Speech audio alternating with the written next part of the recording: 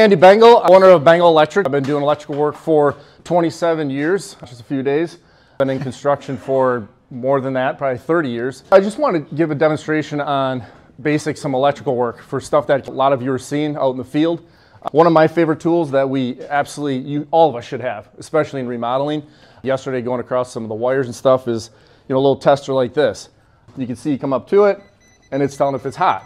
That means don't freaking cut the wires, right? Because it'll blow stuff up. What's cool about this one I recommend buying too is it actually has a tape measure laser on it as well. So it's a two-in-one deal, works great. I can shoot across and gives me the measurements in feet, inches, whatever you want. If you're investing in it, I think this of course is a Klein tools because that's all we use Klein. is Klein tools. If it doesn't say Klein, I don't even know how to use it. This thing is hot now, right? What do we do now to, to turn this off? Go to the breaker panel, right?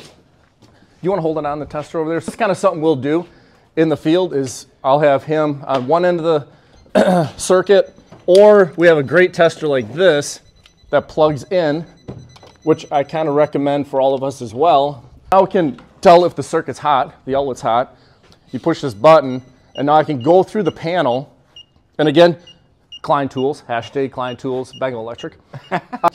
we roll through here. I don't know if you can see, but it'll turn red when that circuit, it tells you what breaker it's on. Oh, that's very... It's really cool so you're not going through the whole house and flipping all the breakers. There it is. Because sometimes it, it does do that. Like, to make it work the best is actually taking the cover off and going right on the wires because some of these breakers, it just doesn't pick it up perfectly. But we have the tester on and we scroll through the breaker panel and here it gets to this one. It's very finicky. And now the breaker's off, everything's still green on the panel. So you can see on here now, it doesn't light up red. Got it. But then the big thing I, I really want everybody to hear is when we do turn these breakers back on, it has happened where this thing can blow up in your face. Highly, highly recommend when you turn these breakers on, we always stand to the side. I don't care which side you're on, but get as far away as you can because you can't trust these things. It's just a mechanical device that can easily blow up in your face. And I mean, that's metal, hot metal, arcing metal that can blow up on your face. Coming out of these panels, we call them branch circuits. Right now we got this wire coming across. This would be considered a branch circuit to this, to this wall. In a home, you'll have definitely one branch circuit feeding a bathroom. And typically you have at least a couple bathrooms, so you have two branch circuits for a bathroom. Every single kitchen in your house has to have two branch circuits, and each of them on a GFCI, GFCI breaker.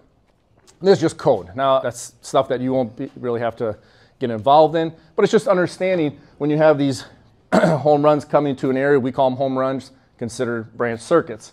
Right now it is hot, and another great tool we use, of course, is a meter. But this mighty tool right here, we use out in the field all the time to drill our holes. Ridgid is close, it's orange and black. All right, this bad boy we use for drilling the holes. All right, so then we will feed our wires through there, mount our boxes. Paddle bits work great, but this bad boy, you can see when you're roughing in a house, I'll have Kenneth or Grayson just start drilling holes. We know where usually the, typically the boxes are. We're gonna have to drill holes. One person will be drilling, next person laying boxes, and we just go to town. If you're not on 16s or you're in a tight space, how you getting your holes then? We'll pull out paddle bits a lot of times and use them if we have to, or, or what we do too is just go up and over. So if it's like triple stacked, mm -hmm. Typically we'll just go up in the attic or up above or below and just go around and drop it in because it's much cheaper and more efficient to just go up and over than try and drill through, through. four or five gotcha. different areas or studs. Uh, imagine drywall being on this wall and everybody's like, well, get the wires down the wall. And then we start, you can see sometimes we have to you know, cut out a lot of drywall just to get our holes drilled. We try to take out as little as possible and do as much damage, but sometimes it's just impossible. Really yeah. can't feed wires through a stud wall like this if you got ceiling and a um, drywall on the top, um, on the side. You're gonna have to some way get your paddle bit through here, but then you still got to get a hold of the wire. That's why there's times where we have to cut pieces out from top and bottom because it's just impossible to do it. Especially on outside walls, you got your rafters coming in. Is there a notching or boring requirement? You just take and put that anywhere? You can put it anywhere you want. You want your holes to be centered of, of the joist as much as possible. And if there are times where we do have to have the, the holes a little bit closer to the front of the stud, but then they have these um, things called nail plates. I'm sorry, maybe some of you have seen them, but you just staple them on there. So this when people are putting their screws in from the drywall or cabinets, it'll hit the metal and it won't go into our wire. That's a requirement anywhere where your holes have to be or end up use being that closer. for plumbing and electrical, right? Those Yep. strike plates. Yep. Typically, from the box, you got your box here and it's mounted. You have to have your first staple within 18, 18 inches. Within 18 inches, and then from there, about every six feet. Typically, I don't even, I, mean, I don't even, I know those are the measurements, but normally I'm just looking at how loose it is, right? We just don't want the, this wire flopping around in here. And when they start putting drywall on, this wire doesn't all of a sudden flip over here or on this side. It's not dangling out like this, right? I want to get one close, another one here. Now you can see the wires tight in the wall. It makes it easier for the people putting insulation in as well. There's a maximum distance, right? But is there a minimum? So can you just There is no pop, minimum. pop, pop, pop if you Yeah. want? if you want, when you get this new uh, Milwaukee nail gun that we just got, the guys have so much fun with it because it's literally a nail gun that goes over the top of the staple, mm-hmm. covers it or keeps it from getting pinched by the nail because it's got guards on it. But I mean, you can just sit there. That tool right there is a little expensive, but the amount of time we save by hitting up these nails instead of hitting it with a hammer. Here's the old old way, which is not the old way. We still do it. And So we'll take it on here and then just pound it on there to cut to protect the wire and keep it from falling out of the walls. gotcha. The big thing is that the, the prettier it looks, just like all of us in, in our industry, the prettier it looks, the easier it is for the past inspections. Pretty. You know, prettier. You like that? Pretty. Let me look the at all neater, these pretty people. the- because that's what inspectors see that you care about your work. Stuff isn't just looking like some rookie put it in and didn't care, right? And I will say a lot of our inspectors, we, we become familiar with them as time goes on. And if they walk into a dangling mess and instead of talking to you, right, and really going quickly through your stuff, Go ahead. They're going to really hit you hard. It does. It does matter. But this thing has this cool, purposes. cool guard on here, and you just once you push this down or put the wire in there, it knows how many wires are in here as well. So I can have like three, four wires in there. Push it down, done, nothing. Just go up to it and hit it. It's pretty, it's pretty amazing. They just came out these, I don't know, a few months ago. Definitely worth the time or time saving. Battery operated. Battery Yeah. operated, 1,600 square feet, Yeah. up and down. And within three days, probably about over 15 hours, we had the whole thing roughed in with like this nail gun just saved Saves. huge amount of time. So having the right tools makes a huge difference. Huge difference. Having having the right auger, using something like this instead of just a regular drill, that just it's going to wear that thing out. We can just plow through drilling these holes. Having the right safety tools as far as making sure when you again go into these remodels, I just hate seeing somebody get hurt. Yeah. And the big thing is, we've, we've all probably done it. We've touched the black wire and get zapped by it. That's 120 volts. It hurts, pushes you back. But right now, there's electricity going through this circuit, right? You have a black and a white wire. If you get in between that white wire, let's say, I'm trying to explain. Say you say this is well right here. You get in between. There's a white wire here and white wire here on this this outlet, right? If you literally go in between there and touch that and hold it, and this thing's running like a radio even, you got that amperage that's going through that circuit. That amperage is what's going through the white wire. You get in between there, that is the part that can kill you. 10 milliamps, that's it. 10 milliamps can kill you. Wow. The voltage, yes, hurts and it can definitely knock you on your butt, but getting in between that white wire is it can it can be fatal. Um, if you get blasted really hard, do not wait that long. I mean, if you get hit that hard, it can offset your heartbeat. Get to the doctor, get to the hospital, whatever it is, because there's been people that literally get shocked. They think they're fine, go home, go to sleep, never wake up, because now their heartbeat's out of rhythm. And I mean, it's serious stuff. I try and tell these guys all the time, it's not a joke. The last thing I want to see is anybody get hurt. It's it's scary stuff. You can't you can't see it, and that's why I highly recommend all of you. I don't know where I put it. Getting a tester. There's nothing. It's like 20 bucks. 20 bucks could save your life. Seriously. Or don't touch it. Or don't touch it. right. And and turning the breakers off. That's obviously the right thing to do. But It's- sometimes in our industry, we just can't. There's stuff that I have to do hot because I don't want to shut down a whole animal clinic. Been there doing that stuff and medical buildings. I've been in there where we just have to do it hot. But Do you still test even though you've popped the breaker? Oh, for sure. Because they could still be hot for some reason or another, right? Or labeled wrong or something. right? Hundred percent, Yeah. and that's why like these this tester. You can see that if it's turned off, the lights are off. But test every one. Sometimes we've seen it where you're going down a room and you think that whole circuit's turned off. You're like, oh, we just turned off the bedroom. Well, they fed in from another circuit, and now another outlet's hot. You thought it was dead, and you get shocked. Gotcha. It's it's I can't say enough how crucial and critical it is to have a tester with you. It's number one. I mean, that's honestly the number one tool to have when it comes to electrical work. And if you, they usually light up, you put your battery in it, plug it in, and it'll light up and blink at you, hey, you're charging. Yep.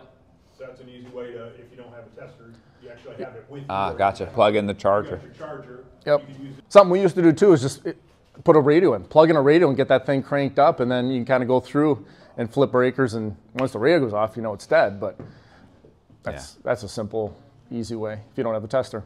Something else that I see a lot. Like this is this is 12 two wire. This Is this common what they'll see out in the field because it's residential? Yep. What is this? This is 12 2 Romex. This is rated for, it's three wires in here. You got your black, which is your hot, then you got your ground, and then your neutral. This is the one I'm talking about. Like if I split this in half, say it's still going, you kind of get in between here and hold this thing, now you're, you're the path. That's where the amperage is now going through you and can do some damage. Damage. Got it. But just touching the edge of it, say the edge of it was showing and you bump it. Really getting in between two, that'll that'll get you. That'll get you. Yep. Yep. Like if, you got in between here and started touching this right now, it'll blast you. So don't mess with broken wires then, because you just okay. You just don't know, right? Again, you can't see it. But so this is 12 2 wire. This is your typical wire that's going to all your outlets inside the home or even some areas around here. Fairhope's one of them. They want 12 2 or even ran to your switches, your lighting circuits Real as well. quick, 12-2 means what? This is the 12 gauge wire. And then they consider, even though there's three wires in here, because every wire, like this is, uh, this is 12 2. So they only count the black and white. The Gotcha. ground they don't count because it's in every single Romex or The ground is your cop. It's not wire.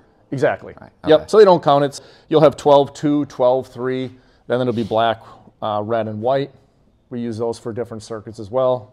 And then what's this used for? What areas? This is typically for all your outlets in your home, but what it's for is anything 20 amps and under. You can't run this to thing to a water heater. This thing is not rated for 30 amps. Just like when you have people that are like, well, my breaker at the house is on a, on a 20 amp breaker and the breaker keeps tripping. We keep plugging stuff in, the breakers trip. Well, we're going to put a bigger breaker in there, right? We've all heard that. Instead of a 20, they'll put a 25 or a 30. But now what you've done is this wire's only rated for th- 20 amps. Now you've just made this thing go up to 30 amps because the breaker is only going to go until it hits 30 amps, right? So if that now the wire's carrying 30 amps, this thing is going to start to burn up. It's going to melt, and that's how house fires start. Gotcha. It's it's not rated for 30 amps. It can only go 20 amps. If you want something to be on 30 amp circuit, it needs more power. Then you need to get to a 10 2 or 10 3, a bigger wire with a bigger breaker. That's rated for 20. If, 20. if you're looking at your panel, how do you know what the panel's rated for? Just on site, is it labeled? Are there Every breaker- numbers on the breaker? So every breaker will say it's 20, it's the smallest is 15, and you have Yep. a 20 amp breaker, then you have 30, 35, 40, and so on up. Most panels that come into a home, your house panels inside, those are 100 amps going into that panel. This little, there's a little number on here 20, 20. You've got at 60 over here as well. Yep, That's the amperage? that's the amperage. Oh, gotcha. The 60 amp breaker is rated for a number six wire. It can take a number six. It can't go up higher than a number six. It can, or it can go. It can go higher than a number six, but it Can't, can't, go, lower. lower. So the lower six. the gauge, the lower the number, the, the actual thicker, right? It's it, it's weird how they they determine that because Yeah. it goes it goes 12, 10, 8, 6, and then 2, and then it starts going to 1 aught, 2 aught, 3. It's it's kind of by, by the dimensions. The Yellow is interior, and then you have a 12-2 gray for exterior, is that right? Correct. So there's a 12-2 UF. UF is rated for underground and doesn't need piping. So you can just run that even in concrete. It's rated to not have any conduit or in, enclosed in conduit. This is only rated for indoors. Another common mistake people take this and then run it to their air conditioner. That's illegal. This insulation and the insulation on here is not rated for water or weather conditions. It'll deteriorate. I'm sure maybe you've seen it where you pull it out of something that's been outside and it just starts to fall apart. It's not rated for it. You got to use THHN. That's another type of insulation that's made for wet locations. And they can sit in water all day long. If I'm running stuff underground to a, a shed or a garage, it's THHN, stranded or solid. This is solid wire. Stranded is many little strands in be, there, wo- woven together. But that's a great point. This is this Romex. It's called um, NM. This is the official name. Romex is what a lot of us call it, but it's only for indoors. Gotcha. Something we, you've seen probably in the other buildings, you use MC cable. So that's got, it's called metal clad. So that metal clad is protecting that wire inside, inside of it. But again, that's not rated to be outside. Some of us do it, but it, it is illegal. You said not rated for outside, literally meaning exterior or because per se my shop. That's what they told me to get for my shop is uh, MC twelve two to run my receptacles and stuff inside my shop. Is it illegal to use? What's inside of it? That's why I'm saying, is it literally exterior we're talking about? Exterior. Yep. Only exterior. Yep.